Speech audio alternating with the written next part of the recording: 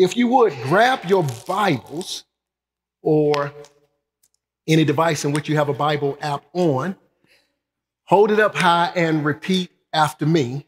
This is my Bible, is my Bible. The, word of God. word of God. And inside, and inside God, tells me, God tells me the plans He has for my life. He tells me how much He loves me, even when this world tells me that I am not lovable.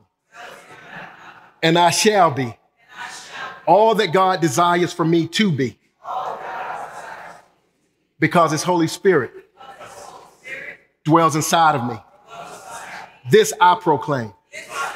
In Jesus' name. Amen. Well, I was going to tell you to turn to a specific passage to get us going, but I'm going to need you to work your fingers today but only in, for the most part, in one letter. But to kickstart it, and we're going to be, for the most part, in the uh, letter of Romans, but to kickstart it, I would like to say that in 1 Peter chapter 3, verse 15, it says, Always be ready to make a defense to everyone who asks you to give an account for the hope that is in you. So, today I want to talk to you about an expedition on Romans Road. An expedition on Romans Road. And an expedition has to do with a journey or a voyage that takes place by a group of people in order to discover and to understand. And I thought that this was a fitting message um, and a fitting time for us to journey down Romans Road. And so that is what I would like to do with you uh, today. For some of you, uh, it may be the first time that you have heard Romans Road. And so this will be a presentation to you that I pray that you will respond to by accepting Christ. For some who, for, for, for the, the remainder who already know Jesus Christ, it will be like maybe a help, a tool, a resource that will help you and I present the good news to everyone else. And so, because we are God's people, we have a responsibility. And so I think it's necessary that God's people who have been saved by Jesus Christ are effectively equipped in order to share the gospel with others, just as someone shared with you. And so today we're going to walk down Romans Road.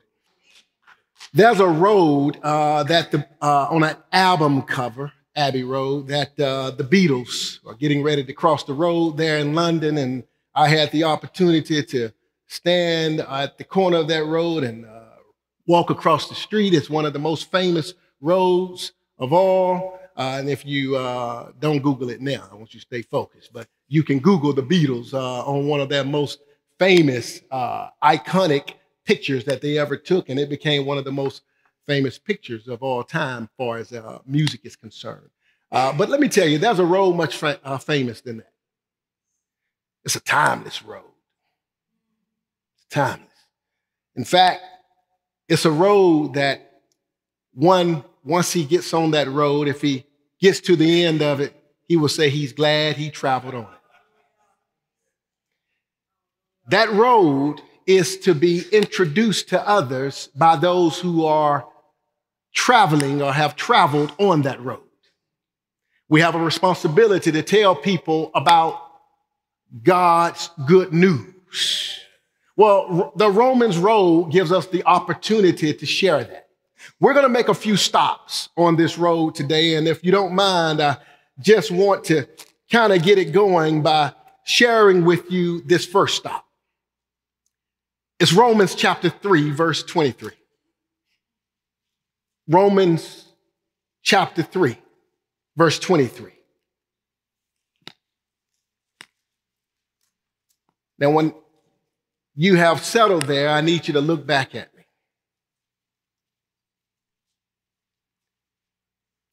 And I want to try to get as many people looking this way as possible. And here's, here's, here's what I want you guys to listen to me say the good news is necessary to be shared. And before we journey down this road, I really want you to pay close attention to these verses. But I'm not sharing these verses with you because I like these verses. I love these verses, but we all should love these verses. And we all should seek to not just memorize them, but internalize them. And so I'm going to read the verse to you. And then once we're done expounding upon it, before I move on, you'll read it also with me. Okay, in hopes that when it's all said and done, we will actually be on the same page. So, because this is so serious, I just find it necessary to do one thing. Would you bow your head for a moment? Lord, help us to memorize what we're about to look at today. Lord, I pray in the name of your son, Jesus Christ, that every verse that we look at, that we will be able to retain it in our mind, retain it in our heart. And dear Lord, I pray, Father, that we would just dwell on it, know on it, Father, as if it was a piece of straw hanging out of our mouths that we just know on, and Lord, that we think about and that we would be willing to share with others. Help us, Father, not to just see it as a uh, exercise on a Sunday morning, but dear Lord, help us to apply this to every opportunity that we're given to every person so that we could rightfully and clearly and concisely share the gospel. It's in Christ Jesus' name I pray, Lord. Amen. Romans 3, verse 23 says that all have sinned and fallen short of the glory of God. All have sinned and fallen short of the glory of God. This passage strongly communicates who needs salvation. Who needs salvation? I, I, I was going to tell you what the Greek word and uh, when you take all in English and translate it to Greek, I was going to tell you what it uh, what the word is, then tell you what it means, and uh, I, I won't say the word for you, but I'll tell you what it means. All in Greek literally means all. All in Greek literally means all. All have sinned. Okay? All have sinned and all fall short of the glory of God. And I need you to know that the word gospel literally means good news. Okay? It, it, it means good news, but it would not be good news if there was not any bad news. Okay, so there's some bad news that preceded. And why would anyone actually uh, need to hear or need to believe uh, the gospel or believe the good news unless they understood that there was some bad news and that there was a need for this good news. And so this is where this passage in Romans chapter 3, uh, verse 23 comes in because this passage here is a fundamental, foundational reminder that all have sinned. Everyone has sinned. Listen, no one is righteous. No one. No one is good. No one. No one keeps the Ten Commandments perfectly. No one. If you want to elaborate on it, uh, just turn to Romans chapter 3, verse 10 through 12. No one is perfect. No one is good. All have sinned. And God is holy.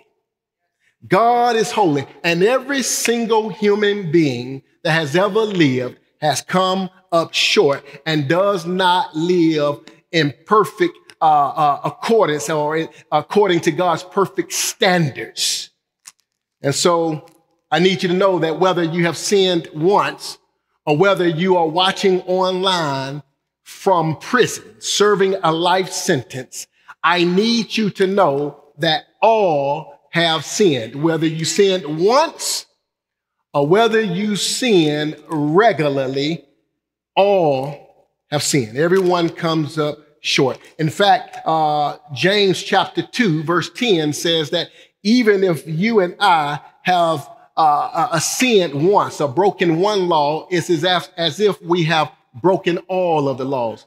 James chapter 2, verse 10 says, For whoever keeps the whole law, yet stumbles in one point, at one point, has become guilty of all. Sin is a reality that must be recognized for us to truly understand the gospel. Everyone is a sinner.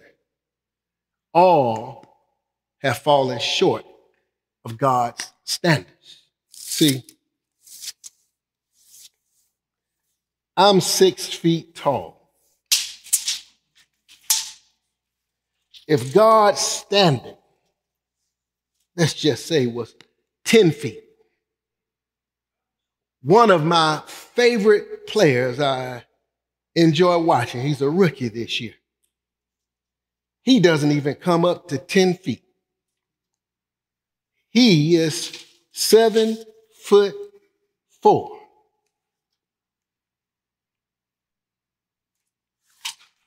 He still comes up short to 10 feet. Well, God's standard is so perfect, it is so holy that 10 feet is not even a drop in the bucket. We come up short the most respectable person that you can think of, the person that you just think that if they sit on a rock, that a bird might land on their shoulder, that a deer might come and eat out of their hand. They're just so loving and kind. Butterflies follow them everywhere they go. That person falls short Everyone comes up short. Everyone is a sinner. And because we are sinners, that means that we are separated from having a relationship with God. And this started way back in the Garden of Eden with the downfall of Adam, who represented all of us. And fellowship was broken. The relationship between man and God was broken as sin was introduced. But this brings us to stop number two. We move from Romans 3:23 to Romans 6:23, where it says, "For the wages of sin is death, but the gracious gift of God is eternal life in Christ Jesus our Lord." For the wages of sin is death, but the gracious gift of God is eternal life in Christ Jesus our Lord. Now, when we take this verse and tie it back to Romans chapter 3, verse 23, which says,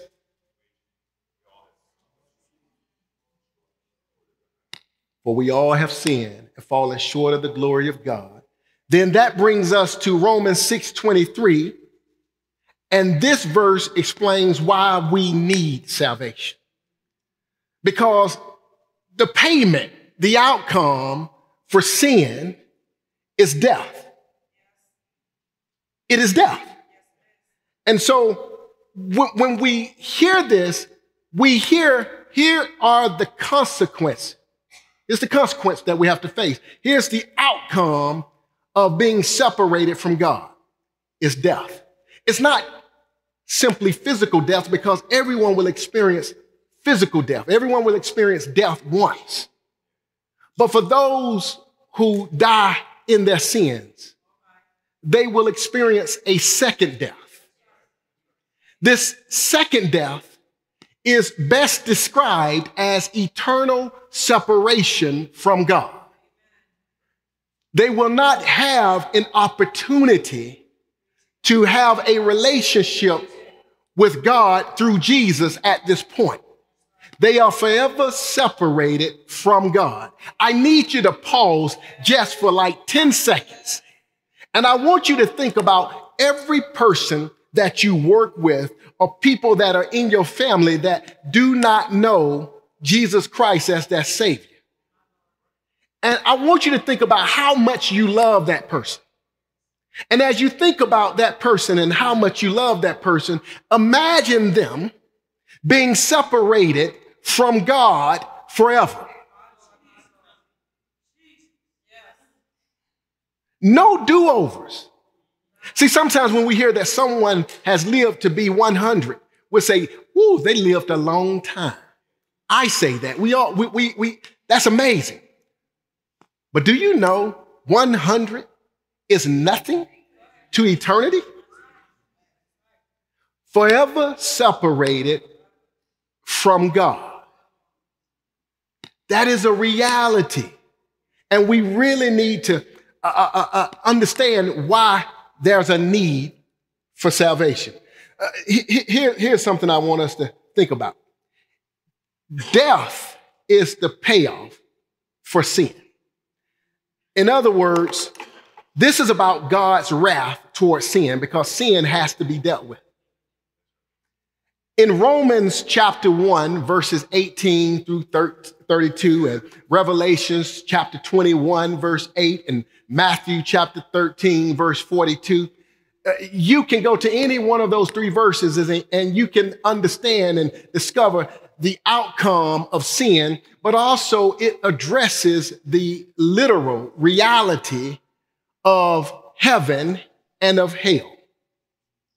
In fact, in Matthew 13, verse 42, it says, And the unrighteous will be thrown into the furnace of fire, and in that place there will be weeping and gnashing of teeth.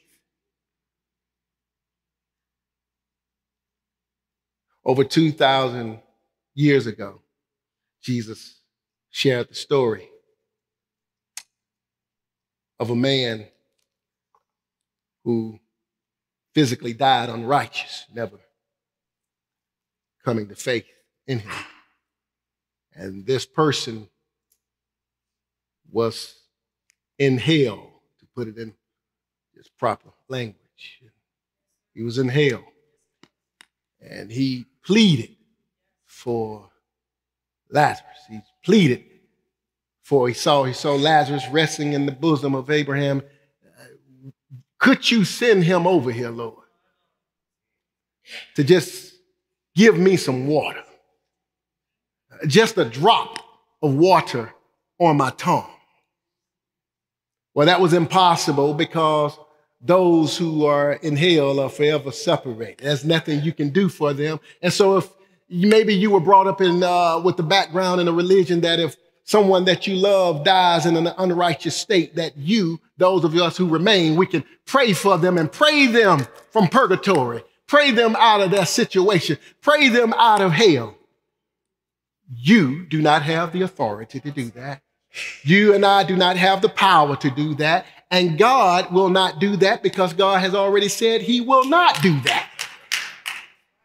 And so where they are is a permanent place and they will be in a permanent state of weeping and gnashing of teeth, suffering. And that's why he was pleading for water, pleading for some help. And I need you to know this. I intentionally pointed out that Jesus shared this story over 2,000 years ago. I pointed it out to you because I want you to know that as we sit here today and walk down this Romans road, that that man is still probably asking, can he get a cup of water? Can I just get a drop of water? He's still there. So I really want you to think about those that we say we love because you can go out and buy someone some flowers and buy them a box of candy and write them I love you cards and say I love you and send them text messages. But one of the greatest demonstrations that you could ever do to express that you love someone is to share the gospel with them. And so the earned payment for sin is death. It's death. And so just like God has a, uh, uh just like we have a human court, and the human court says that if you break the law, here's the consequences. God also has a divine court. And the divine court says that if you and I, who are sinners, never accept him, that there is a court that we are going to have to come to, and we will face the consequences of not choosing him. So That's a piece of Romans 6.23. But you know what I like about Romans 6.23? The biggest but in the Bible is in Romans chapter 6, verse 23. See, think about what it says. It says, For the wages of sin is death, but, that's a big but. The gracious gift of God is eternal life in Christ Jesus, our Lord. And so, notice what God does. God shifts the focus from man in his broken condition, a condition that a man, he, we cannot fix. We can't fix our own condition. And God shifts the attention to his son, Jesus Christ. God shifts it to none other than Christ, this great gracious gift. And he says, in him is eternal life. See, I want you to know that God does not want you and I to be separated from him. He does not want us to be separated from him in relationship. And for those who have already in a relationship with him today, he does not want us to be separated from him fellowship wise. God does not want us to be separated. When God created man, God created man to be in a relationship with him. And Adam sinned, and that's when this relationship between God and man was severed. Adam, eh, by sinning, he ushered in sin. Sin caused two types of death. It brought about physical death because before then there is no data, there's no records of any death on the earth. When Adam sinned, physical death creeped in. Eventually, Adam's uh, body broke down and he died physically. But more importantly than that, when Adam sinned, immediately at the moment that Adam sinned, physical death was slowly over time, but spiritual death, it happened immediately when Adam disobeyed God. Spiritual death came in. And the Bible says that if anyone who, because we all are born and shaped in iniquity, we all are born separated from God. The Bible teaches us that if we do not accept Jesus Christ during our lifetime, that we will face eternal separation, death from God. And so I need you to know that God twisted knob, but God, God, He saw fit to give us this gracious gift that is in Christ Jesus and Christ Jesus alone. And here's the beautiful thing about it you and I no longer need a measuring tape. See, some of us have, we don't use a physical measuring tape, but some of us have tried to earn our righteousness. I'm, I'm so good to people. I give to the homeless. That gives me one foot. You know what? I'm all I'm always respectful of other people. That gives me another foot. Ooh, I've been in church my entire life. That gives me another foot. Ooh, you know what? I don't listen to, you know, I don't listen to no ungodly music. I only listen to all this gospel music. That gives me, oh, that gives me that. And you know what? I read my Bible every day. Also, I need y'all to know that my daddy was a pastor.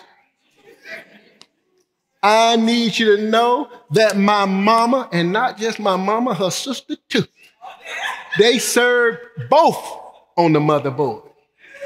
I know some of y'all saying, what is the motherboard? Listen, it's not George Clinton, the mothership, okay? All right, stick with me, all right? All right.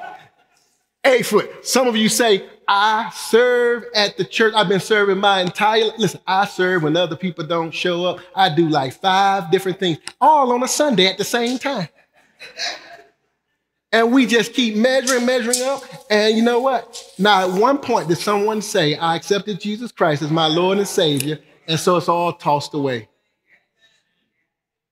God has given us a gift. You and I did not and cannot earn it. It cannot be passed down to you. If your mom or your dad or your grandma or someone in your family is saved, they can't pass down their salvation to you. You, you, you don't inherit that, okay? You cannot earn it, but I do want you to know that it has been, it's a gift. God has a gift. And God has offered this gift, but this is no ordinary gift. This gift is his son, Jesus Christ, his only begotten son, Jesus Christ, the same one that Pastor Yemi was talking about last week when he says, For God so loved the world that he gave his only begotten son, that whosoever believeth on him shall not perish, but have everlasting life. God loves us so much that he has given us this great gift. So Romans 6:23 says that what? The wages of sin is death, but the gracious gift of God in Christ Jesus our Lord. But that leads us to another place. It answers this question here, uh, or, or it fulfills this. It shows how God provides salvation. And we see this in Romans 5 8. See, God demonstrates in Romans 5 8, God demonstrates his own love towards us in that while we were yet sinners, Christ died for us. In other words, at your and my worst, lowest point, I want you to know Christ knew all of our lows and our highs. Like before you and I were born, he knew our lows and our highs. And you know what? He willingly still sent his only begotten son, Jesus Christ, who died on the cross. While we were yet sinners, not, notice what the text doesn't say. It doesn't say, when I had cleaned myself up. When I, I've heard many, many people say this. Now, I'm, I'm, I'm going to uh, accept Christ when I get myself together. Impossible. Impossible to get yourself together. If we're waiting on that, if you're waiting on that to get yourself together, then you'll never get it together. You cannot put yourself back together. At your and my lowest, while we were the worst of the worst, the worst of the worst, Christ died for your and my sin. I, I gave you all this illustration um, before.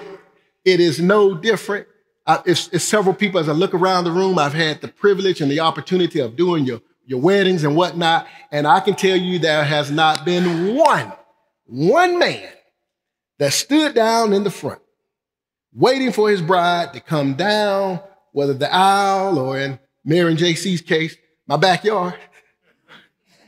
Not one man stood there with his back, man, I, I don't really want to turn around. Because, now don't take this the wrong way, I don't want to turn around because she was ugly last week. she was ugly yesterday. And when I turn around, guess what? She's still gonna be ugly. I, I, I mean, press her face in cookie dough and make monster cookies. listen, she was, listen, she was ugly. No man I ever seen says, I, I don't want to look. No, I want you to know the Bible describes the church as the bride. Now, now it, listen, the bride ain't pretty. Listen, we come with all our brokenness, our flaws, our imperfection. We come with all of our lies, our gossiping, uh, our sexual immorality, all of these perverted and, uh, and, and just, just dirty, low down, filthy stuff, that's the bride. And the groom, he doesn't say, mm, mm. he turns around. Watch this. The groom, I have to tell the groom to stay there and just wait for the bride to come down. But the groom, Jesus, oh, with your ugly self. Said, I'm coming. I'm, with our ugly self, he I'm coming. He, he comes to, listen, he loves us while we were at our worst. And the reality is, guess what? He knows he has to come to us because we don't even have the strength to make it down the aisle. And sometimes the church act like we doing Jesus a favor. God demonstrates his own love towards us and that while we were yet sinners, Christ died for us. I, I, I want you to understand that when we were unlovable, God loved us. When we were hopeless, God gave us hope. God loves you and I. If you're in this room and you think no one loves you, or if you've been told repeatedly throughout your life that you are not lovable, no one wants you, I need you to know that's a lie. It's a lie that the devil wants you to embrace, but it's not the reality of God. God loves you, and I don't care what you have done or what you do. There is nothing, nothing possible, as the Bible says, that can separate you and I from the love of God. God loves you and I. But that brings us to Romans 8 1. But in order to get there, I want to make sure you understand that in Romans 5 8, who demonstrated this love? God. And he did this while we were yet sinners. And Christ dying for us. And it brings us to Romans 8 1. Therefore, there is now no condemnation at all for those who are in Christ Jesus. No condemnation. Uh, listen, this is some really good news. Okay. This is some really good news. It means that those who have put their faith in Christ, you put your faith in Him, the Bible says that you do not have to walk around in guilt or shame any longer. You and I just have to come to that reality. If you and I have put our faith, our trust in Him, believing in the fact that Jesus Christ has died on the cross for your and my sins, that He rose from the dead on the third day, the Bible says that we will be saved. In fact, 1 Corinthians 15, verse 4 says it like this. Paul is making this statement. Check out this gospel, how this good news. For I hand it down to you as of first importance what I also received that Christ Jesus died for our sins according to the scriptures, and that he was buried, and that he was raised on the third day according to the scriptures. Oh, yeah. Listen, he died, he was buried, but he got up. That's the good news. The Bible says that if we have put our faith in Jesus Christ, the one whom the good news is all about, the Bible says that we will be saved and that there is no condemnation. You and I will not go to hell.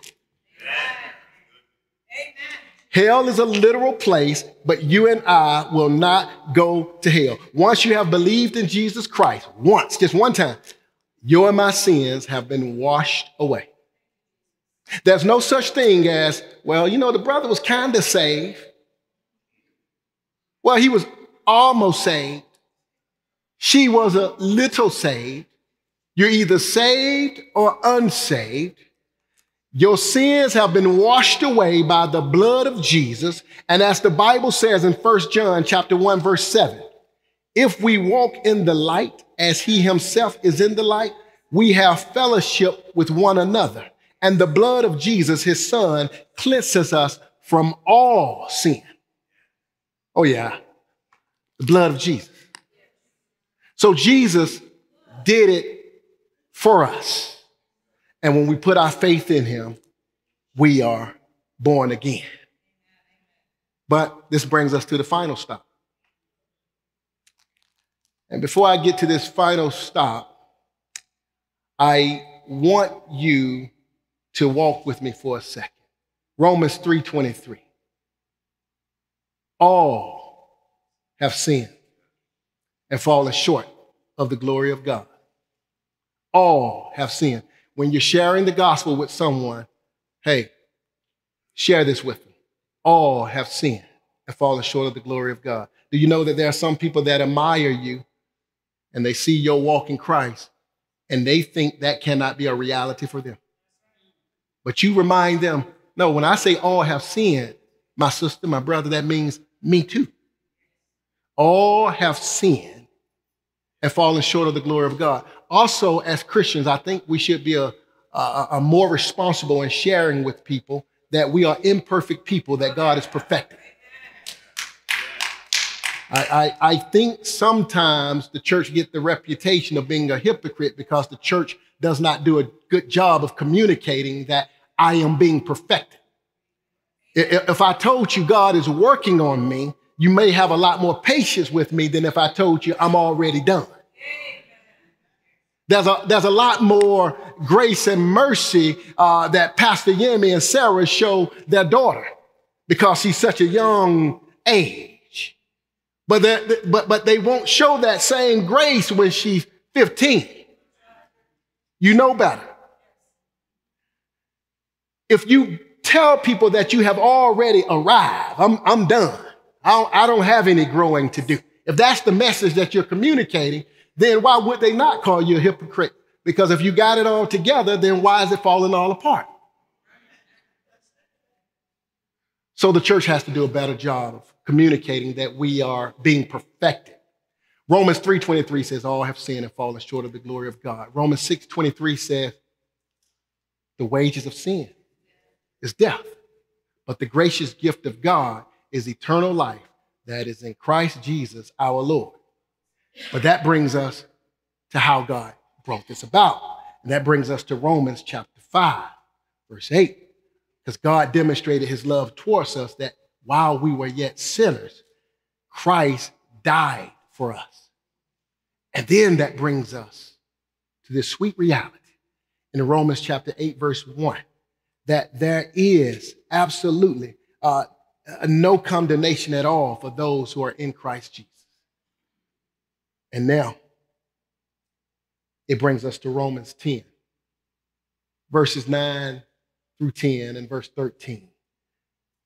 It says that if you confess with your mouth that Jesus, Jesus as Lord, and believe in your heart that God raised him from the dead, you will be saved.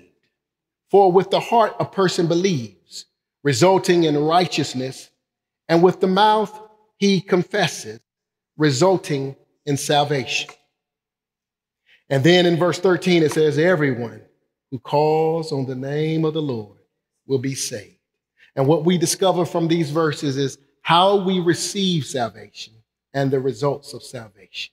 This is where the rubber actually meets the road. The question comes down to do you believe that Jesus is Lord?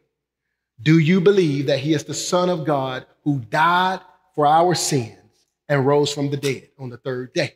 It comes down to are you willing to confess your sin and accept the bad news that you and I are spiritually bankrupt without God's help? It comes down to are you willing to accept the good news that God has made a way for you and I to have a relationship with Him and be saved from the penalty of sin, which is His wrath? See, it's only through faith in Christ Jesus that God's power can change you and I.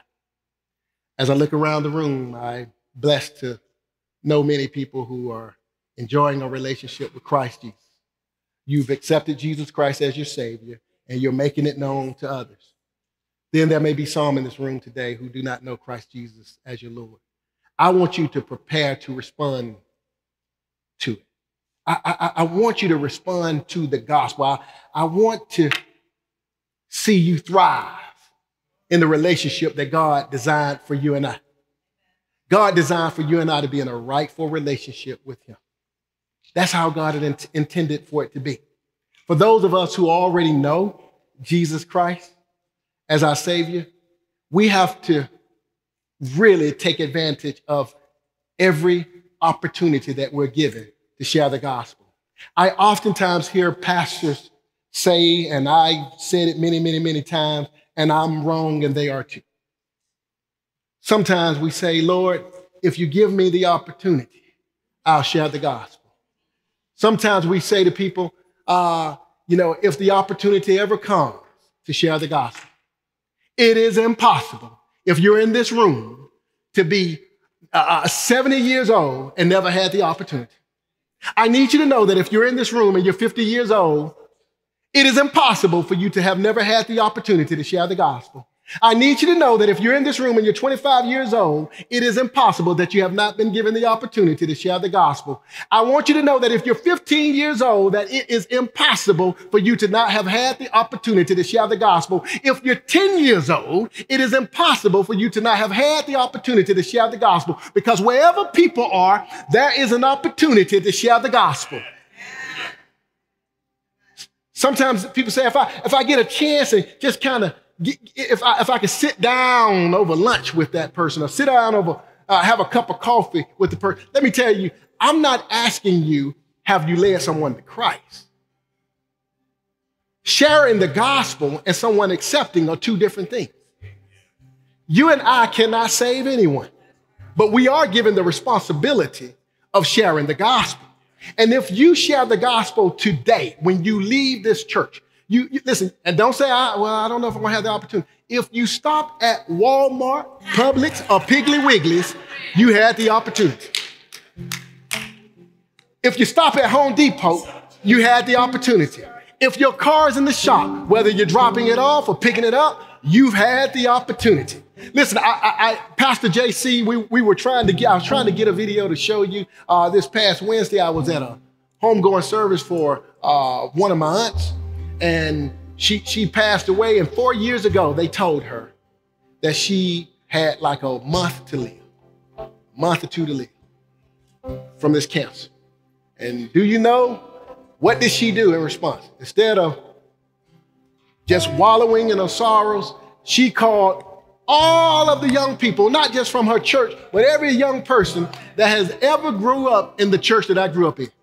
I'm talking about she was calling everyone. And she had a church filled with generations down.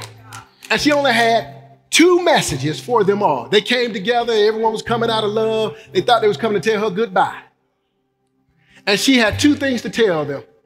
And young people, you listen to me closely. She told, she said, young people, don't be discouraged from coming to church because of things you have heard or seen from other people. Don't be discouraged from coming to church because someone hurt your feelings and whatnot. Don't turn on the thing, turn your back on the things of God because of people. But a most important message was you all need Jesus. If you don't know Jesus, you need Jesus. And she said, Don't worry about me. I'm okay. I fixed it with Jesus a long time ago. I just wanted you guys to come together because I, I love God and I love you all so much that I wanted my last words to be that I want you to know Jesus Christ. But hold up. She wasn't done. She didn't, listen, she didn't physically die. She lived another four years. And then about two weeks ago, I got a call from a, a, a message from one of my uh, mom's sisters. She said, Hey, Aunt Trish is in the hospital. They're calling all the family in. And I made it there early in the morning. I took my Bible in and I opened up John chapter 14. And I started to read to her. But let me tell you something. She didn't die right away. God gave her strength and she cut a video. She cut this video telling everybody she's okay. She's okay and she's ready to go, but I want y'all to know Jesus. She did that from her hospital bed while she was dying. Listen, that's how, as a believer, that's how I want to see us all be. Like to the last moment, tell people about Jesus every opportunity that you get. In fact, in my hand, I'm to listen. Listen, this, this, this, this, uh, the altar is open, but I, I want you to know that if you already know Jesus Christ, you say you're looking for an opportunity. How many of you in this room actually have a dog? You, do you own a dog? Do you own a dog? Do you own a dog? All right. Uh, listen. Do you go to the park sometime? Every once in a while, out in the yard. Okay, listen. If you want to see me, I have some dog snacks. No, these dog snacks are not for you to open up an opportunity to share the gospel with the dog. But I would love to give you these dog snacks that were given to me by a friend in the church. I asked her, could I use them? But would you be at a park, the park you go to with your dog, and you see someone walking their dog? How about you strike up a conversation with them and ask would they like some dog snacks for their dog? And maybe it'll open up the opportunity for you to share the gospel with the person. I got someone that said, man, I missed out on that one. I got another dog snack for you. Listen, someone else, I got another dog snack for you. Listen, what my point is, use every opportunity, and I know this work. I did this in Canada at a park, and people there were walking their dogs, and we just stood in the park, and I was giving out snack. People love their dogs, they love talking, and, and I switched the conversation from a dog to you you and God. And so, see me out. See me out. I'm, I'm serious. Y'all think I'm kidding about this. I don't care how you do it. You can use an Easter egg. You can use a, a doggy treat. I don't care how you do it, but we're given opportunities all the time to share the gospel. And those who already know Jesus Christ, we should be sharing it. And so, with that being said, the altar is open for prayer. Maybe you just need encouragement, uh, strength. Maybe you just say, Lord, uh, these opportunities that I'm given. Help me, Father, not to be in fear because I don't have to rely on my boldness. All I have to do is what you call me to do, and you will provide the boldness. Why don't you just come down to the altar? Maybe you have a decision that you need to make because you recognize that you are not in a relationship with Jesus Christ. Those opportunities are here for you. There's a decision card on the back of the seat in front of you, but there's also counselors here to help you navigate through this journey where you have recognized, I do not know Jesus Christ, but today I accept him. And for those who already know, maybe, just maybe, you just want to pray and ask God to lay upon your heart and your mind those that you're going to share the gospel with today and throughout the week. Amen. Father, in the name of your Son, Jesus Christ, thank you, Lord, for your word, your ever changing word, your ever living word. And Lord, we ask, Father, that you would just fill us up with your Holy Spirit. Help us, Father, to have eyes that seek those who are lost. Help us, Father, to go before them and share the gospel with clarity and, Father, in a concise way. And Lord, help us, oh Lord, help us, oh Lord to make sure that all honor, all glory is given to you and help us not to focus upon the fact if they accept or not, but just help us, Father, to be willing to do what you've called us to do, and that is to share the good news. It's in Christ Jesus' name we pray. Amen.